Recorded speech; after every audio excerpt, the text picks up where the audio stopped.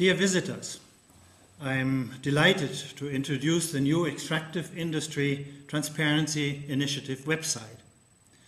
Uh, for those new to EITI, it is what The Economist calls a curious coalition, because we have governments from all around the world, huge oil, gas, mining companies, international and local civil society groups, pension and insurance funds, and big international organizations like the World Bank all sit around the same table working towards the same goal improve governance in resource rich countries through the full publication and verification of company payments and government revenues from oil, gas, and mining. As the banner says, a global standard for local transparency. The EITI is now being implemented by 15 countries, and we hope to have many more complete the sign up shortly. Seven of the implementing countries have already produced fully audited reports.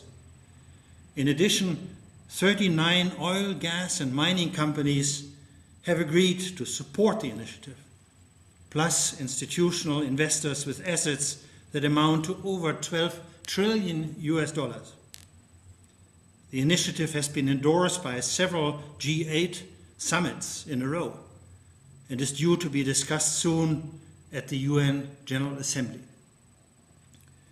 There's still much to do. Extractive industries are important in over 50 developing countries, which are the home to some 3.5 billion people. There's nothing intrinsically wrong with extractive industries, but the sad truth is these countries have underperformed relative to other countries without natural wealth. There is a close correlation between the countries rich in natural resources and the countries with high levels of poverty. Ensuring that revenues from natural resources make it into the government budgets for public sector expenditures, for instance on health and education and so on, is key to reducing poverty promoting democracy, and reducing the risk of conflict. Informing, explaining, and being transparent and accountable ourselves is a critical part of this journey. And this is a particular challenge across users with very different levels of access to the internet.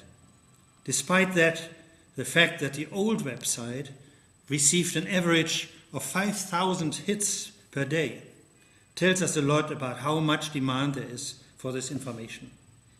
I want to take this opportunity, by the way, to thank the World Bank and our colleagues there for hosting that website so excellently for the last three and a half years.